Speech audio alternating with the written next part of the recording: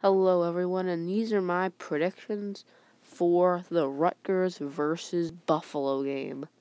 Now, I will be doing a game with another YouTuber. His name is Comic Dude 45. Gotta go check out his video about this game. It should be coming out sometime on Friday, but he might describe the rules too. But the thing is, we always be putting the scores and two bold predictions of each Rutgers game the rest of the season, and Whoever gets the closest to the score gets three points. And if you get a bold prediction correct, you get one point. Now, we will be doing this the entire season. Whoever gets the most points by the end of the season is the winner. So now, let's get it started.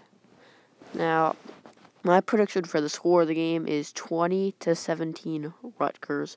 Now, the reason I think this is going to happen is because I think after these two embarrassing losses, I hope and I think this is that I think they're going to end up having a breakout game. They're going to be working really hard during practices.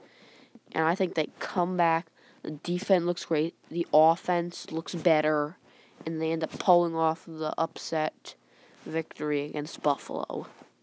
Now, my two bold predictions are I say Bo Melton leads the team in receptions. Probably not too many because they spread around the receptions a lot, but I say he leads the team in receptions this game.